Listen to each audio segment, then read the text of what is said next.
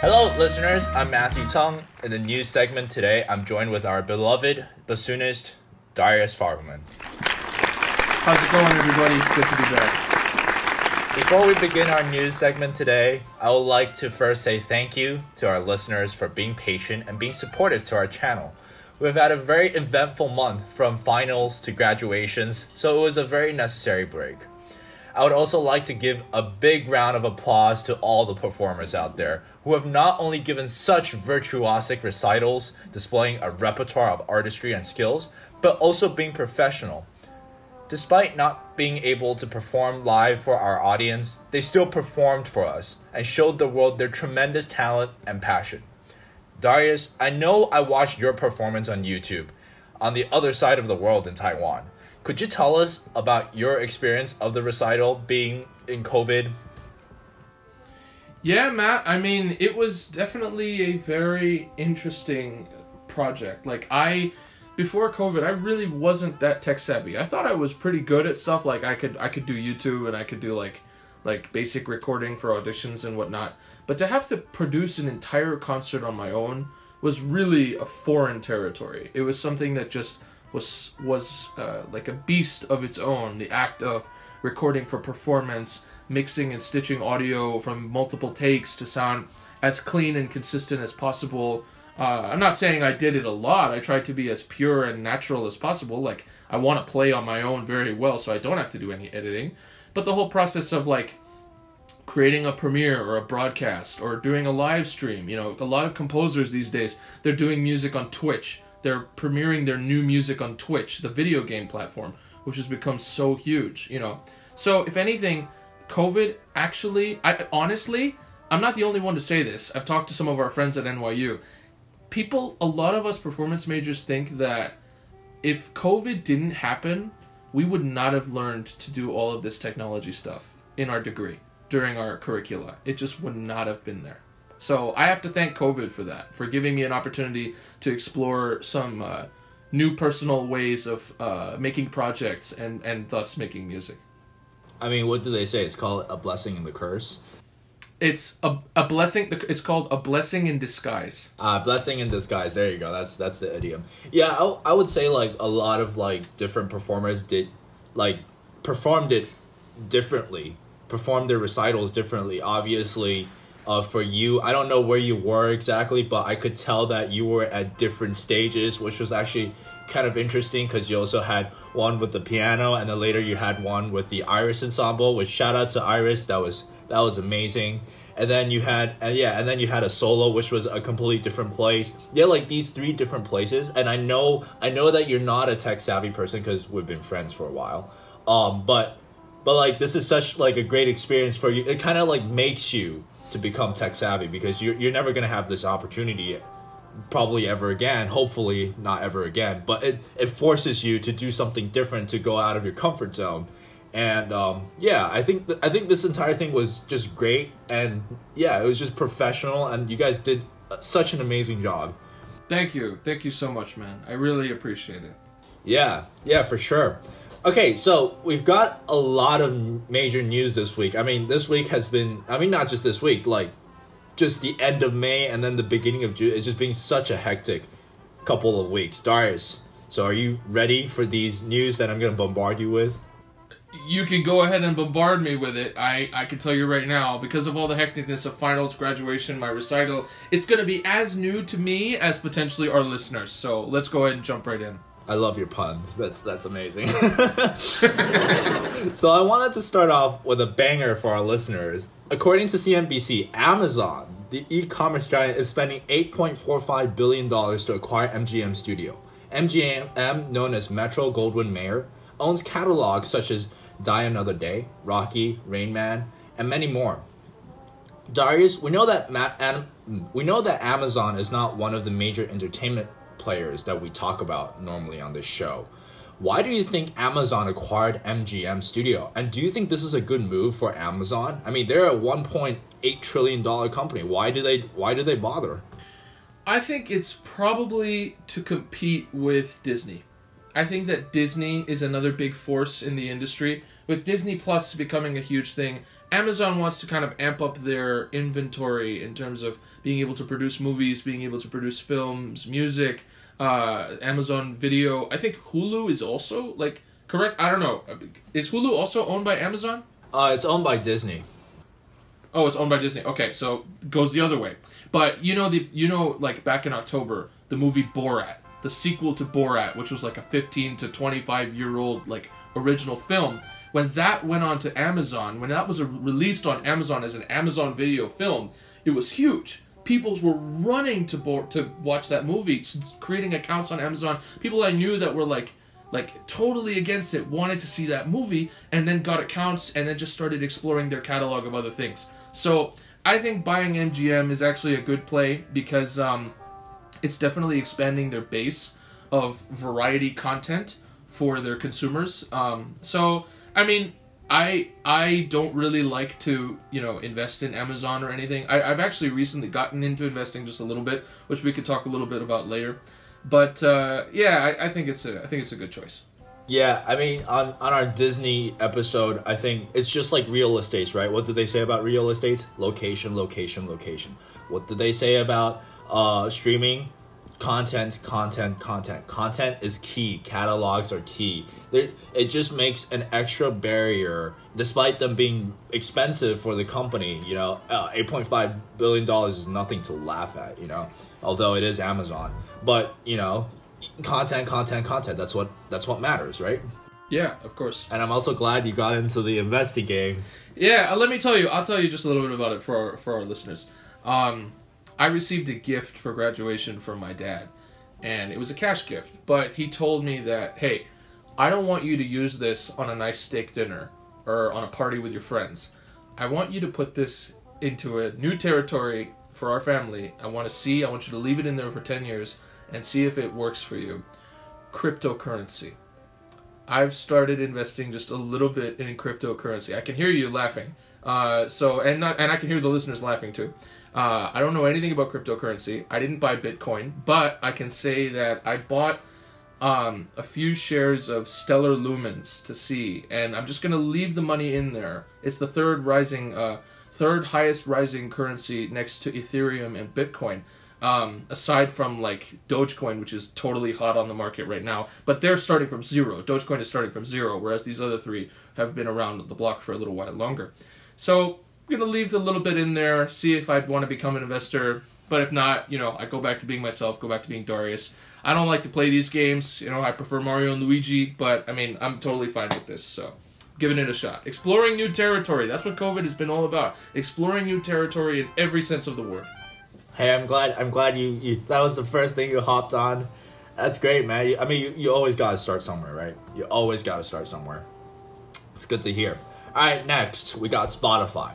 Spotify, the music streaming company, recently reported its uh recently reported its quarterly report. 23 million euro net income profit, its second profitable quarter in a year. Obviously, the stock market was very, very rational, so the stock fell by 12% at the end of April. Darius, was this a fluke or is there a reason for this huge sell off? Um, I mean, I can't say for sure. What I'm curious about is uh, the second. Okay, so you said you said that it rose in the second quarter of the year, right? The income profit in Europe, like for euros, went up during that period. That's the spring. That's basically right around where we just came out of, where people are let's say you know in Europe I think I think we can if we're thinking about COVID here this is 2021 we're still in COVID the whole world is still in COVID Europe in the spring has started to decline COVID has started forcing people back home. They've started having to lock down in various countries. You know a lot of orchestras and music industry has been kind of shutting down again for like I believe the third wave they they were calling it. So that's increased listener bases from home.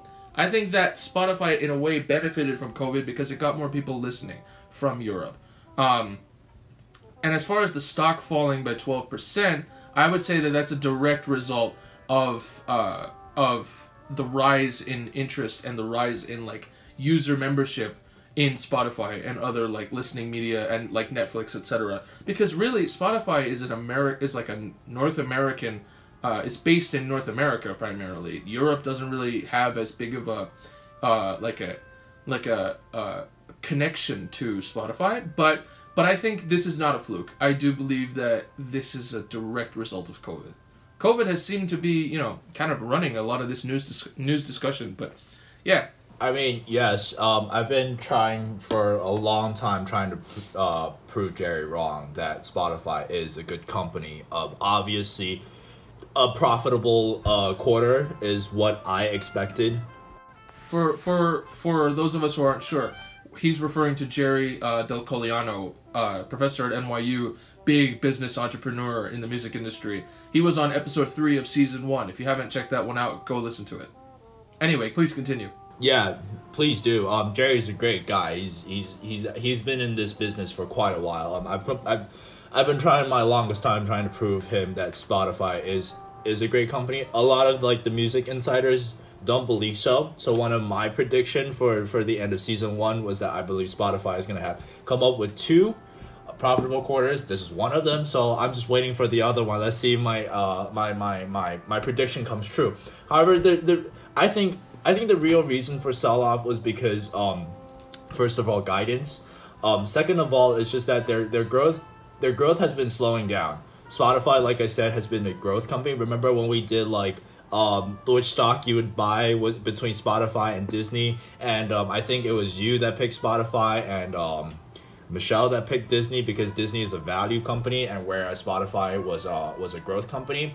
Yeah, the main word is growth. And if growth slows down, the hype slows down.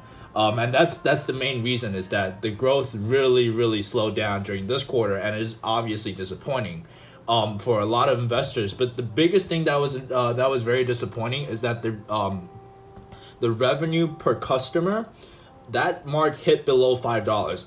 Spotify has really struggled to really struggled to amp up that number because they have the f- free subscriptions, which you know allowed people to use Spotify for free, and because there's so many of those users, um, start really decreasing because they're not producing revenue for the company, but they're adding more customers. So if you really do the division, more customer, more numbers in the denominator, while a few numbers in the numerator, obviously you're gonna get a, a get a lower ratio by then. So that was the real problem, and they they seem to not be able to really monetize their consumers, and that's the really one of the biggest problems that a lot of investors are really raising their eyebrows. But I do think that for growth companies, they really need to get these customers in um, at the expense of profit profitability, which they achieve, which is kind of curious. Yeah, no, totally. I can totally see your point of view from that. I guess we're not really we're not really in disagreement. I think you're just looking at it from a more economical standpoint. Uh, so kudos to you. Yeah, uh, yeah, pretty much. Um, let's let's move on to, to now a really big one. Um, th- this has been a big news in the past few weeks. AT and T, obviously, um, AT and T, the cellular telecommunication giant and parent company of Warner Media's, will unwind Warner Media business by receiving forty three billion dollars and combining Warner Media's content with Discovery. Obviously, AT and T seems very reasonable to talk in an entertainment show, but when we talk about Warner Media.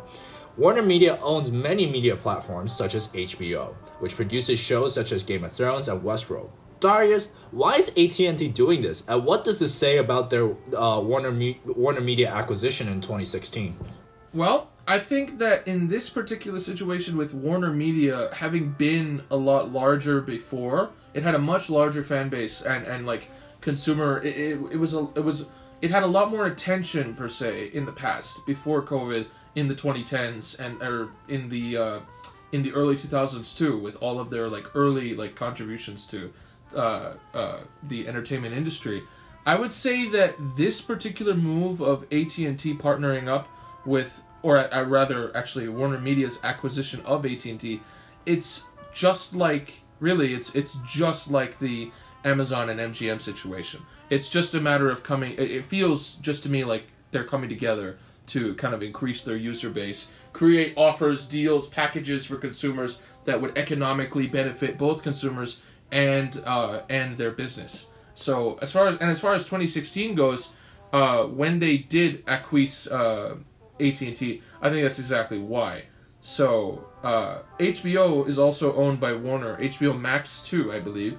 So you know, with HBO under their belt, Warner is just going to continue growing and and like not that it's added security. Buying out other companies, as we've seen with Disney. Disney was the first one to do it. They bought out Lucasfilms, who made Star Wars. They bought out, I think, like a few other big names. Uh, Pixar originally wasn't a part of Disney either, you know. So it's just another like another chip falls onto their side of the table, if you will. True. Um, yeah, I mean, in in a lot of media companies, you really see a lot of acquisition. I mean, that's sort of like the gist of how media companies work. Um, the real problem here is that AT and T has, like like you said, you know, the whole point of acquisition is not only to you know expand business, but also acquire customers. That's the whole point that you would spend that money. Um, the problem was that they couldn't really expand Warner Media's business.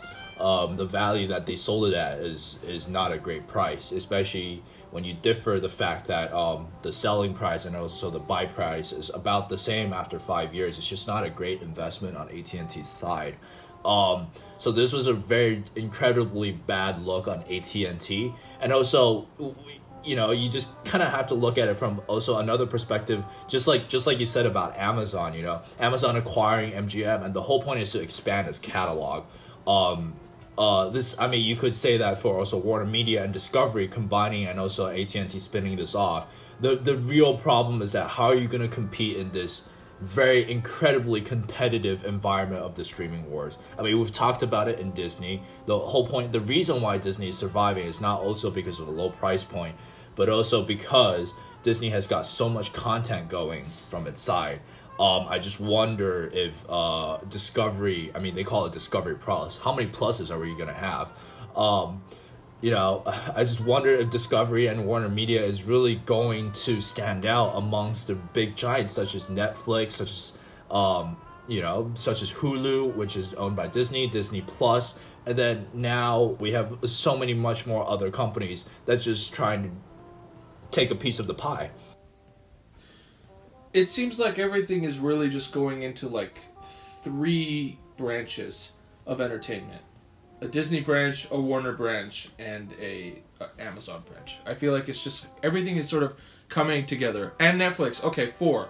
Four big big powers and everything around them you know? Yeah yeah i definitely agree with that. And um i mean i mean it's we're just gonna have to see. And also we've also got the covid factor. We'll see how that plays into because covid i mean slowly the country is opening up I know you guys are seeing uh seeing sunshines and all that while we're we're we're seeing rains all the time in Taiwan here. But um the thing is that when people start going out, are there going to be more subscribers? Are there going to be more users watching contents? Are there going to be more streaming consumers? I mean, that's also another big question. You've it's already a competitive environment, and now there's no um there's no there's no tailwind trying to push this even more forward. Yeah, absolutely. If anything, I'd say that um that COVID, when COVID goes away, I'd say, you know, we're looking, the world, like, US, like you said, is doing really well right now and is going to be out of it possibly by the fall. Uh, but as far as the rest of the world, it's going to take probably a full another year. So if we're looking at it now until like June 2022, you know, it might be that all the big entertainment industries might expect a drop you know when people stop like going out and stop doing stuff or stop start going out and stop staying in stop consuming. Exactly my point. I mean in the near future uh, you can still see the tailwind still blowing in their way but until when it really starts um, when covid really starts going away which is sooner than later um, you know where where where's the momentum gonna go? If anything yeah if anything right now they're at a plateau. They're nearing a plateau before going down. So anyway Okay. Okay. Lastly, recently BTS's new song called uh, "Butter" has racked up around 21 million streams in the first day. However, according to Music Business Worldwide, around 10 million streams are being discounted. This is because, according to Spotify's chart rule, it is, quote, only the first 10 plays of a track by each user on the platform are chart eligible within each 24 hour period. What is going on here, Darius? And do you think this is a big issue in terms of uh, algorithm and all that going on? Okay, first off, I have not listened to this new track yet, but what I know is that BTS is really on fire. They've been on fire for the past like five years, just really on the rise culturally. Uh, you know, which which which might even be in comparison to what we're going to talk about in our upcoming episode. Uh, but like it's it's a really big it's BTS is big. BTS has become a really big thing, and to see 21 million streams in one day after the release of an EP, or it, it's just huge. So as far as Spotify and the chart algorithms, I actually see it kind of like YouTube. When YouTube, for example, when YouTube sees someone like a YouTuber getting really big, they try to limit the amount of money they make by by monetizing and putting in more ads or doing things like putting in less ads, which give re- less revenue to views and subscribes and comments. Uh, so I think that in Spotify's case, if anything, this would just be a way to kind of like help market themselves and help like and try to like kind of I don't know I don't want to use this word but blood suck if you will the the, the fruit from which BTS is growing. So uh, that's my personal opinion. I don't think it's really it's it's it's like it's like the Taylor Swift thing when we talked about this last fall when Taylor Swift lost the rights to her songs. You know, it, it's it's something like that. They just want they just want to reap off some of the benefits, if you will. Yeah, I mean, I definitely do agree with that aspect. You know, um, Spotify kind of just don't want to pay that extra, um, pay a lot of the money, so they kind of put a cap on. I mean, that's one side of your the four artist side. But on the other hand, you can also look at it from the other perspective is that um, fans often like to boost numbers and a lot of actually a lot of entertainment companies do this. They tell the fans or they tell whoever who works in the company say oh we're gonna release let's just say darius releases absolutely beautiful song or whatever wonderful song and what we're gonna do is we're gonna ask the entire um, 1000 employees to play play the song for the entire tw- for the first 24 hours. Just keep playing it keep playing it keep playing it. and i think spotify looked at this and say hey you can't cheat the algorithm like this. So you can also look at it look at it from the other perspective. Um, i definitely think that this is not really a big issue. Um, i don't I don't think this is gonna go anywhere, but I do think that um, when when it comes to like the metadata aspect of it, we're gonna have to really look into this and say like what is really pure data and what is like cheating the algorithm. Um, I mean, this it's hard to say because we don't have anything anything more to go off of. Um, so thank you, Darius. Thank you, thank you for coming to the show. Yeah, of course, and uh, thank you to everybody for tuning in for this little news segment here on Surround Sound. Yeah, bye bye. We also want to thank Matt Klein for writing our awesome jingle for Surround Sound. Thanks, Matt.